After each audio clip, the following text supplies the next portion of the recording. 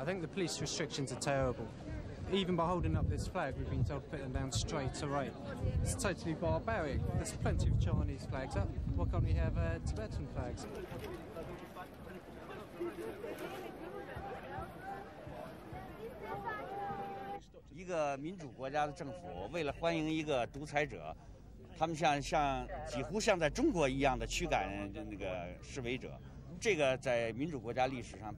You've got your, um, when you did the protest? Yeah, it's for uh, Tibet.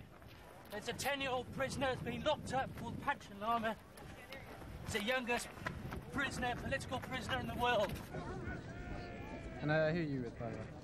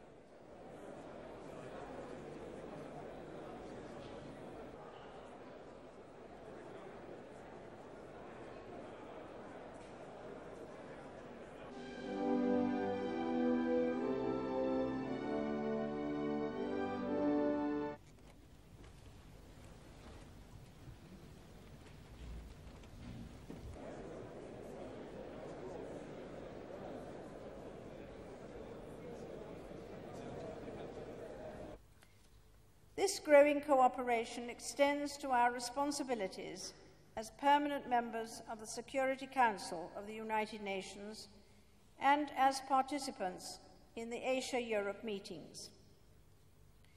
We believe firmly in the virtues of dialogue.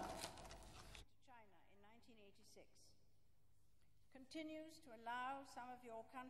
His Excellency, the President of the People's Republic of China, and the Chinese people.